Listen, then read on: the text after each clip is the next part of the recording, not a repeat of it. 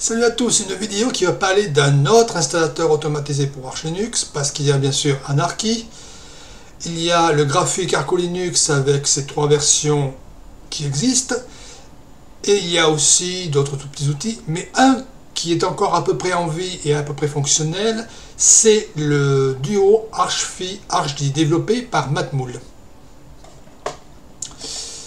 Voilà, c'est ça, ArchD ArchFi, c'est en gros un script qui installe une base, puis la partie ArchD qui installe tout le reste. Donc, ce que je vais faire, ben, je garde ça parce que j'en ai besoin pour la suite, je vais installer une ArchFi et je vais mettre dessus Deepin, parce que Deepin est relativement rapide à installer et c'est un environnement qui est assez tatillon pour savoir si ça fonctionne ou pas. Voilà. Donc j'ai mis 4 Go, 4 CPU et on est parti. Donc il vous faut comme base une image d'installation d'Arch Linux, une connexion fonctionnelle et il vous faut récupérer le script ArchFi qui s'occupera de la suite tout à la mimine. Enfin, il s'occupera de tout gérer par lui-même. Euh, il y a pas mal d'interactions avec, l'utilisateur, contrairement au Anarchy ou une Arco Linux où on lance l'installation, après les trois réglages, on peut se tirer 10 minutes et puis c'est fini.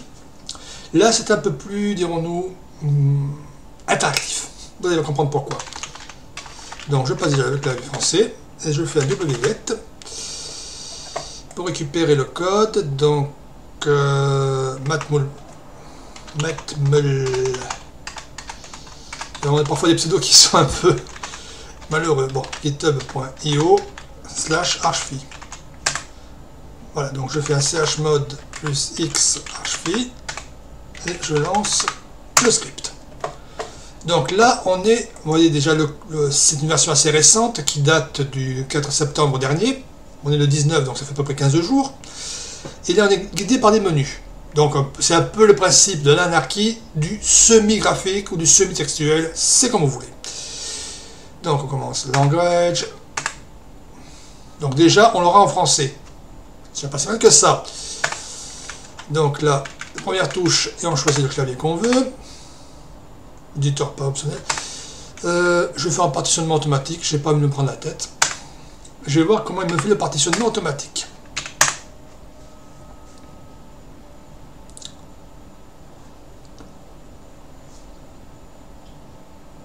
Ok. Ensuite, OK, retour. Euh, sélectionner partition d'installation. Donc le boot, le swap, le root. Et apparemment, il n'y a rien d'autre. Donc, si j'avais écrit une partition DBSD 4 avec Home, il m'aurait monté la partition Home là-dessus. C'est pas si mal que ça. On va les formater. Oui. Extended 4. Donc à faire, prenons du moderne. Et pour la partition route, je vais prendre Extended 4 aussi. Ok.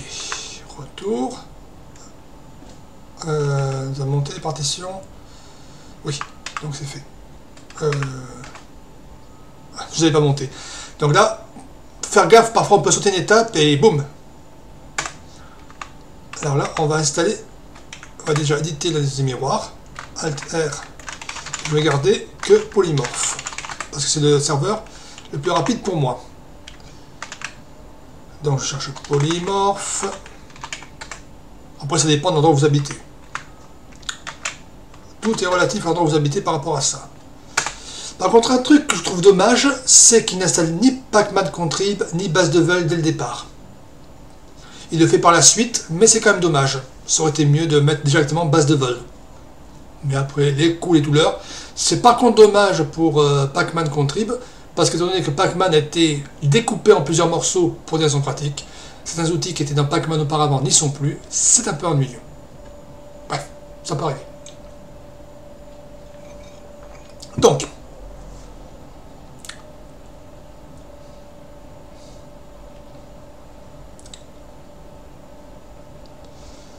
il nous installe la base, donc là il n'y a rien de bien sorcier. Donc un noyau 4.18.8, le plus récent qui existe actuellement.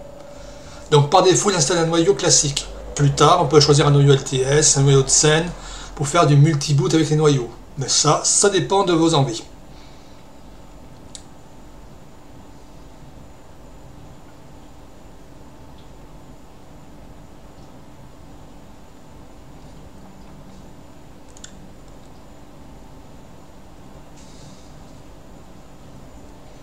Tout cas, pour le moment, c'est propre. Ça, on peut pas dire, c'est super propre. Côté installation, c'est assez propre. Et tant mieux, c'est un signe de pérennité pour la suite.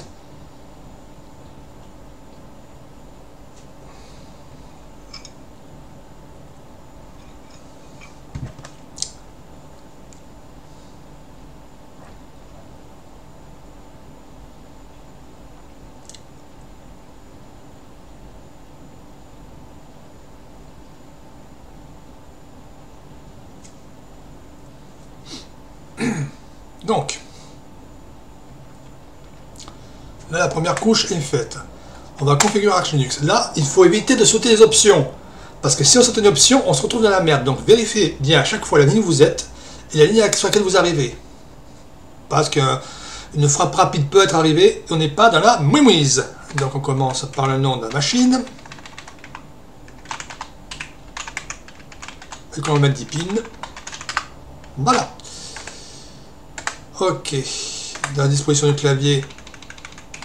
Ok. Oui, on a sauté la fonte. Bon, c'est pas bien grave, c'est optionnel. Alors là, on a été au local. On définit l'horloge. Donc si vous êtes en monoboot, vous gardez UTC. Sinon, vous passez en local. Je suis en monoboot, donc je ne me fais pas chier. Je reste en UTC le mot de passe route. Voilà. On génère le fstab pour qu'il puisse retrouver ses partitions. Là, bon, tout ce qui est fstab, si vous avez envie de crypter, de chiffrer votre, euh, votre système, vous pouvez le faire. On installe Grub. Là, cet installateur est bien parce qu'il ne cache pas la complexité de l'ensemble d'un système euh, Arch Linux. Parce que étape par étape, il montre ce qu'il faut faire. Donc c'est un bon point qu'on peut lui donner. Ça, on ne peut pas lui ôter ce bon point.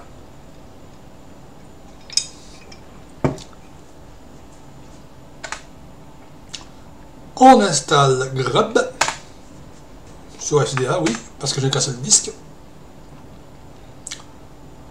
Donc là, j'ai pris les options les plus simples. Je n'ai pas, pas eu l'occasion de tester le reste, mais déjà, on va voir avec ce qu'on appelle une chicken install, en clair, suivant, suivant, suivant, ok, ce que ça donne.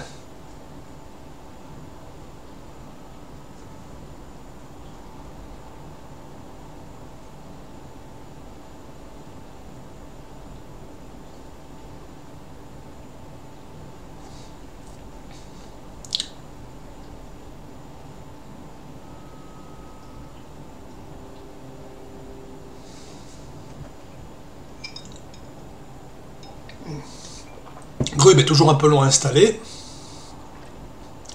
Tant qu'il ne reste pas une plombe bloquée dessus, c'est bon. Sinon, vous avez des ennuis.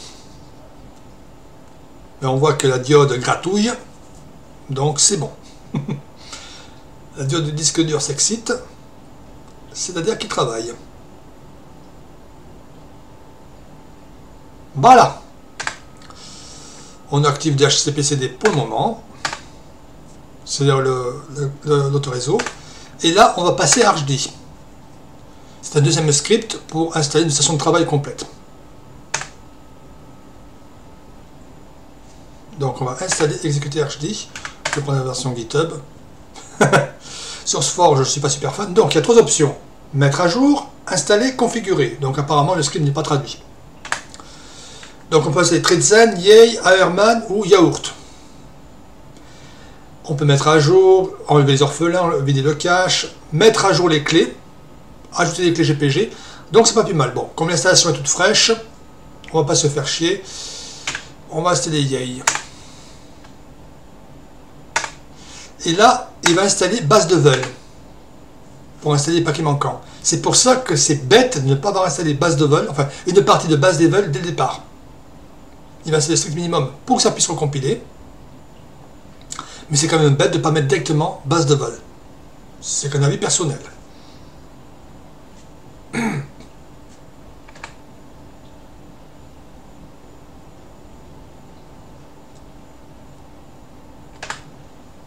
Donc là, Go est un peu lourd, mais il donne des logiciels assez rapides.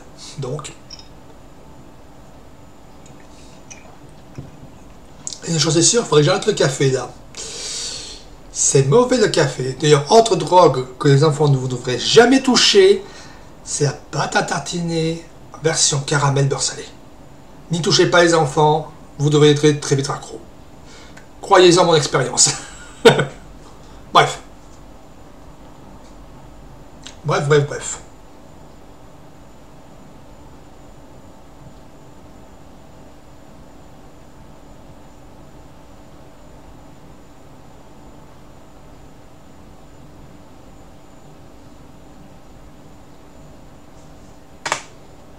Voilà. Donc upgrade, c'est pas la peine parce que l'installation est toute fraîche. Euh, voilà les orphelins. Donc il va juste me virer le paquet gauche, je n'ai plus besoin. Et le cache, on verra plus tard. Donc là, downgrade, pas besoin du reste. Back. On va passer à l'installation. Donc les outils en console. Je vais rajouter MC et VIM. Donc il n'installe que strict minimum. Il utilise l'option moins needed de Pacman qui ne fait que récupérer les paquets nécessaires. Les outils de compression. Pas de problème, je sélectionne tout. Mis à part peut-être un RAR que j'aurais pas sélectionné par défaut, mais ça fait pas de mal. Outils réseau, ouais bon mais je garde ces options par défaut. Vous pouvez décocher ou décocher à volonté. Ça permet comme ça de personnaliser l'installation. Pour le moment, rien à dire. Navigateur web en ligne de commande, j'en ai pas besoin. Outils de récupération, j'en ai pas besoin. Back. Les outils système. Noyau. Donc là, par contre, je vous conseille de, passer par là parce que si vous avez besoin, comme par exemple pour euh, Deepin, des entêtes, des headers du noyau, il faut passer par là. Donc vous avez du noyau classique, LTS, Zenwardend, comme je le casse au classique. Donc il va juste m'installer euh, les headers, les en-têtes si vous préférez.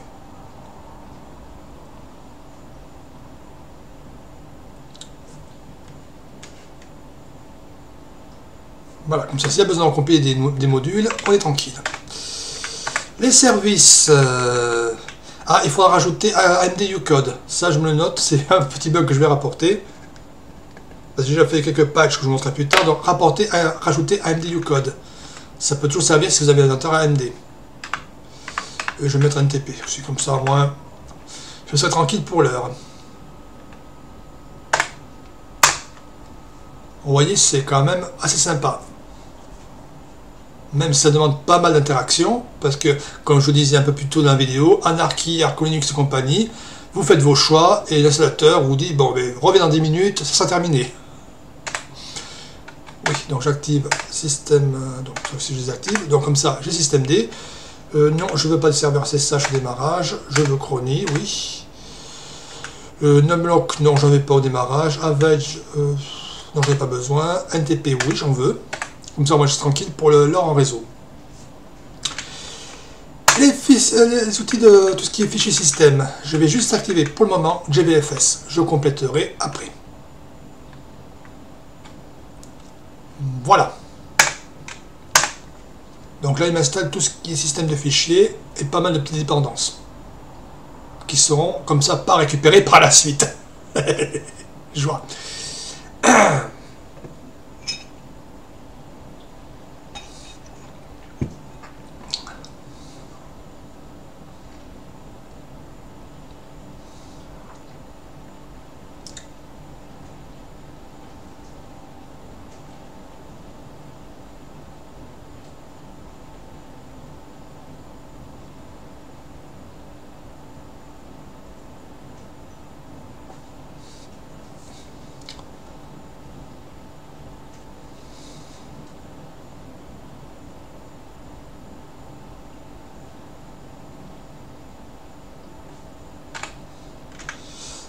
tout ce qui est son, oh, on va regarder tout ça.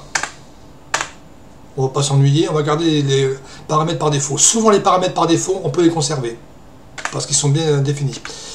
Tout ce qui est imprimante, on va s'ennuyer. Voilà. Comme ça, on est sûr et certain d'avoir un support d'impression complet. Si vous n'en voulez pas, vous sautez l'étape et vogue la galère. Mais c'est vrai qu'on vit dans une société du zéro papier, n'est-ce pas? N'est-ce pas? Bref.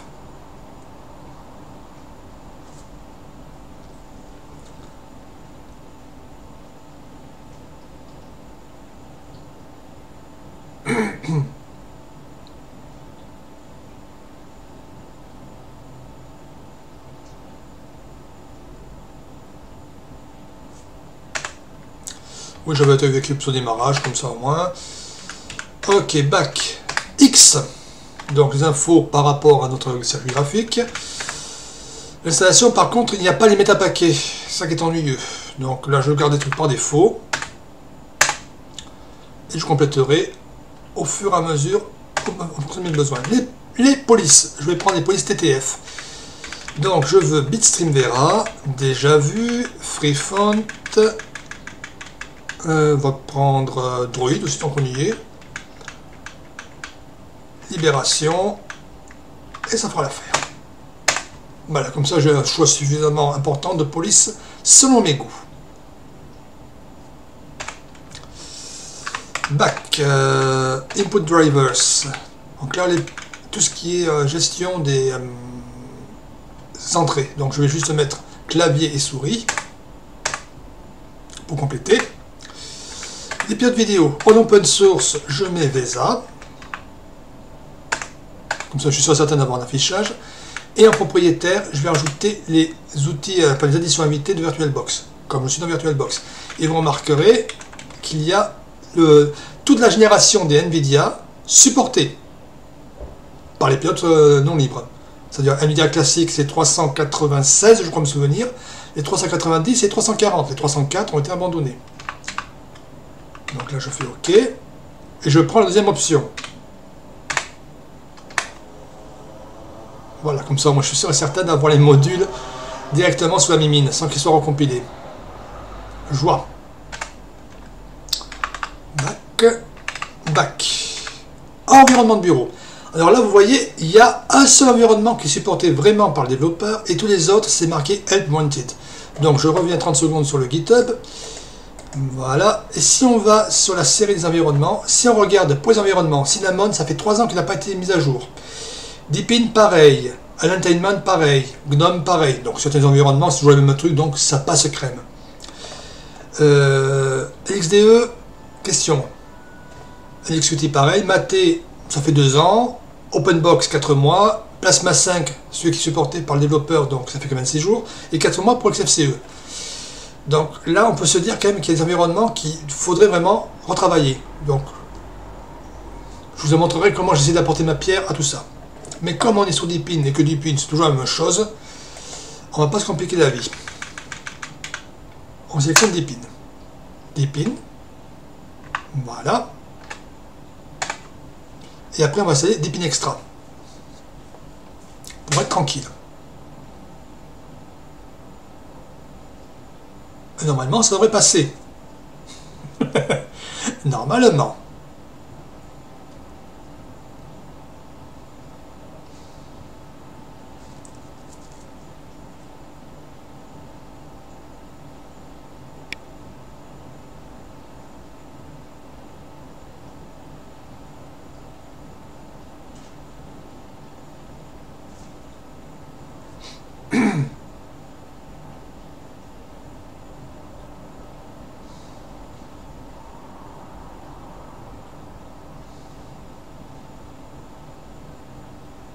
Donc là, nous installe la première partie de Deepin, qui ne sera pas la plus longue. Mais ce que vous avez pu voir déjà, c'est que l'installateur est quand même bien conçu. Même s'il commence à être un peu vieux, parce qu'on voit quand même que les environnements ont été créés pour la plupart il y a 3 ans, donc en 2015, on peut se dire que le développeur, même s'il est seul, et qui ne maintient vraiment que KDE, arrive à se débrouiller.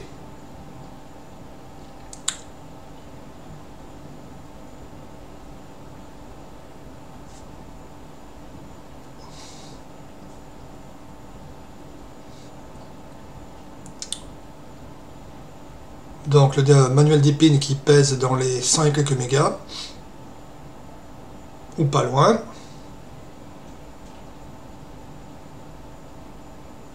Dans les 200 mégas je dirais. On peut en sortir très vite. Hein. Ou 250 mégas à peu près. Ouais, dans les 150 mégas à peu près.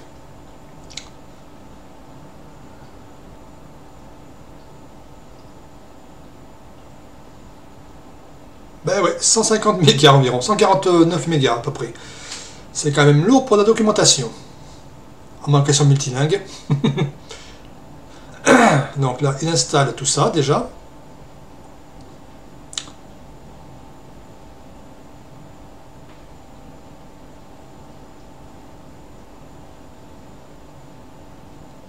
Après, moi, c'est Deepin Extra. Je vous montrerai, la, bon, certains trucs, c'est pas la peine, je vais juste les sauter parce que les outils feront doublon avec les, outils Deepin, mais je vous montrerai l'ensemble de la logiciels disponible. Même si par moment, on peut se poser des questions sur certains choix.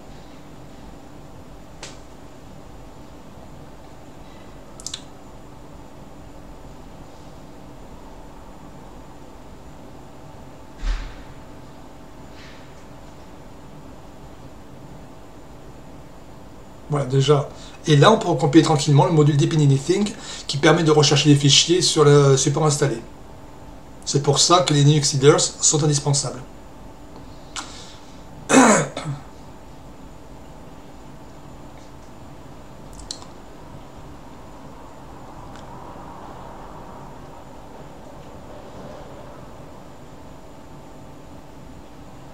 Voilà, on continue. Deepin Extra histoire de compléter. Voilà, histoire de compléter un peu l'installation.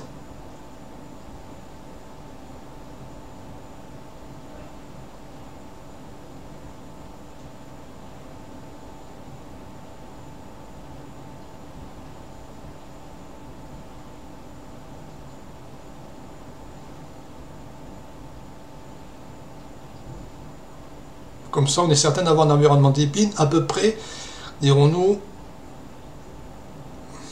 complet. Dac. Ok. Le gestionnaire de démarrage, donc c'est LXDM. Euh, pardon.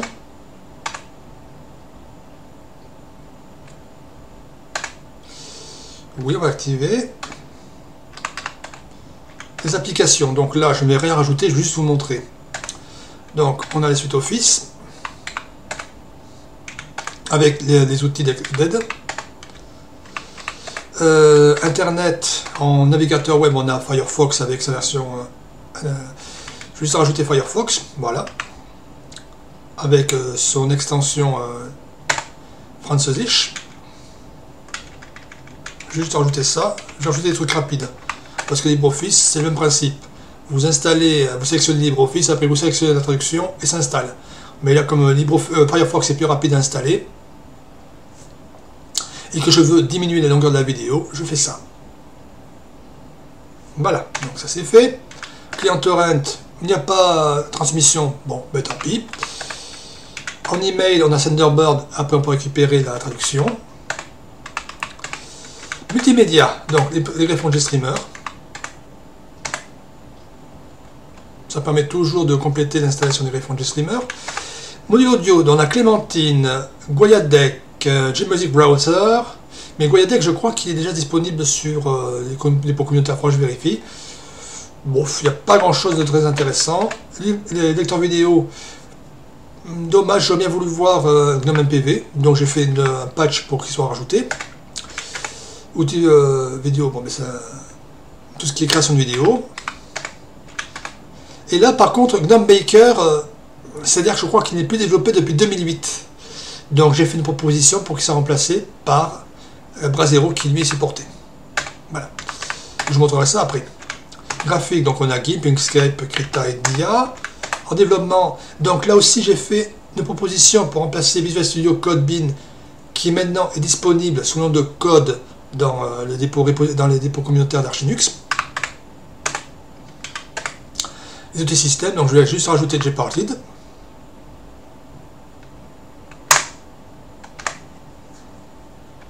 Voilà. Et dans les guides Pacman, on a Octopi ou PAMAKUR. Je vais rajouter PAMAKUR, comme ça, ça sera fait. Je veux la version 1, merci. Et là, on va lancer compiler, laisser compiler ça. Donc, je vous disais, par rapport, euh, comme j'ai contribué un peu, j'ai rapporté des, des pull requests, voici ce que j'ai fait. Donc, déjà, euh, GNOME MPV, j'ai rajouté dans le répertoire qui va bien, enfin, le fichier qui va bien. C'est juste ça, c'est très compliqué, l'addition de GNOME MPV, vous allez voir.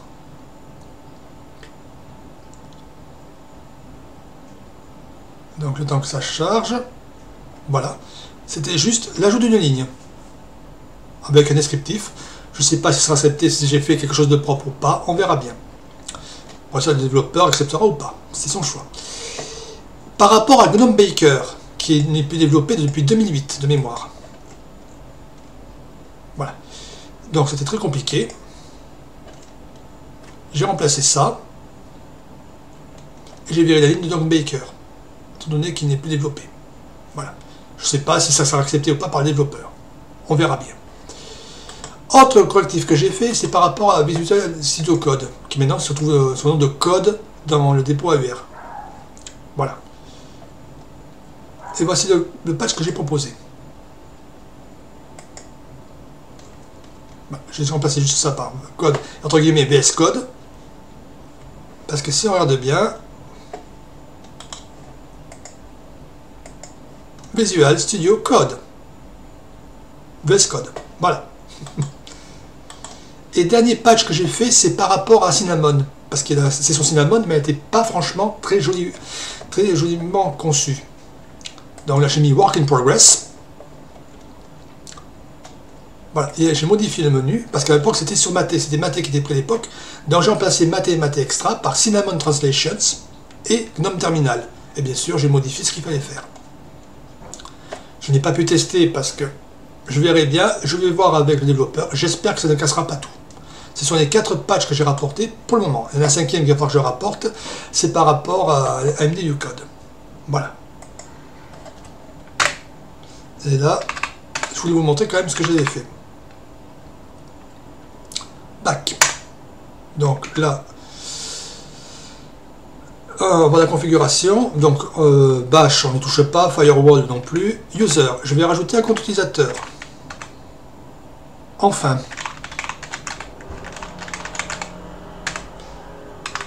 je vais la rajouter au sudoer pour qu'il puisse avoir accès au droit route temporairement.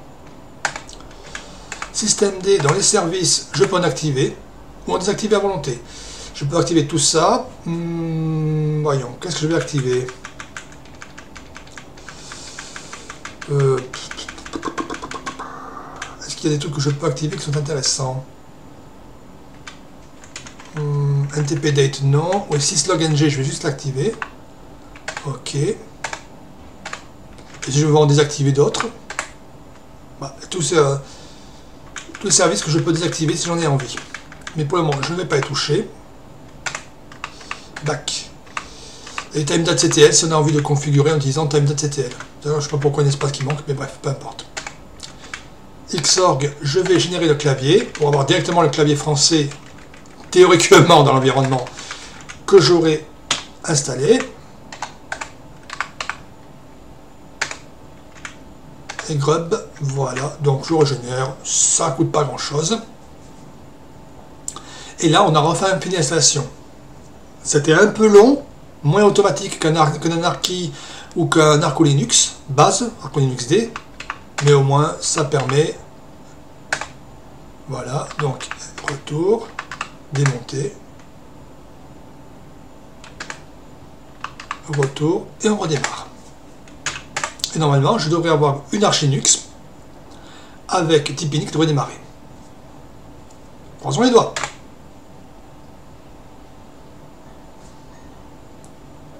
Là, un petit message d'erreur, mais c'est normal, c'est pas bien grave.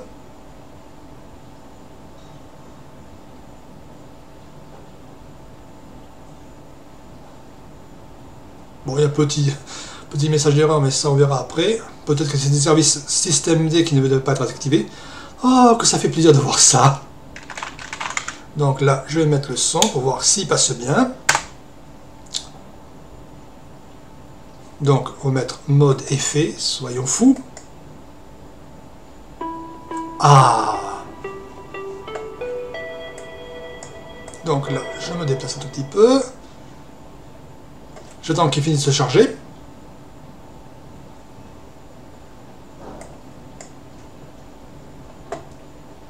Ah, par contre, il y a 10 minutes de décalage, c'est normal. J'aurais dû éteindre et redémarrer. Ça, c'est un petit problème avec des distributions basées sur Arc et VirtualBox. Bon. Le centre de contrôle. Information. Donc, on a bien une arche rolling. Ok. Et bien sûr, il faut le clavier en anglais, enfoiré. Ça, c'est ce bip de bug de Deepin. Voilà, donc ça. Voilà, comme ça on a le clavier en français. Donc je vais juste installer NeoFetch en utilisant le terminal. Donc je suppose que j'ai bien le clavier en français. C'est bon. Yay-s NeoFetch. Voilà. Donc ce que je vais faire, c'est éteindre la machine virtuelle. En espérant qu'il ne fera plus le bug de... Voilà, donc là, je redémarre et peut-être que l'heure sera bonne, qu'il n'y aura pas trop de décalage, théoriquement.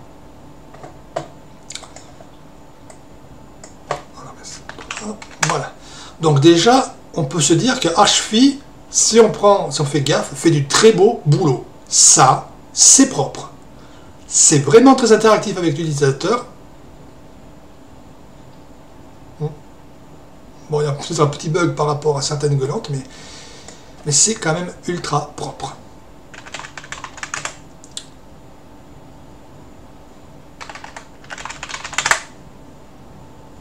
Donc je vais voir, c'est toujours décalage horaire.